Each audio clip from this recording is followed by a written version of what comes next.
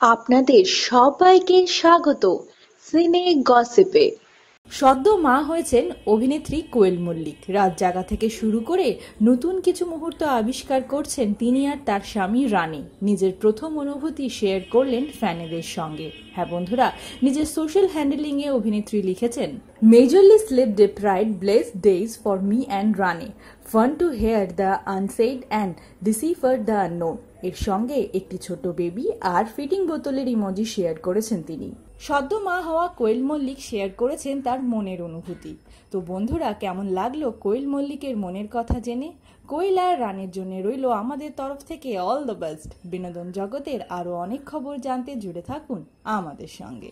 আমরা হলাম সিনে গসিপ জুড়ে থাকুন আমাদের সঙ্গে। সাবস্ক্রাইব করুন আমাদের এই ইউটিউব চ্যানেলটি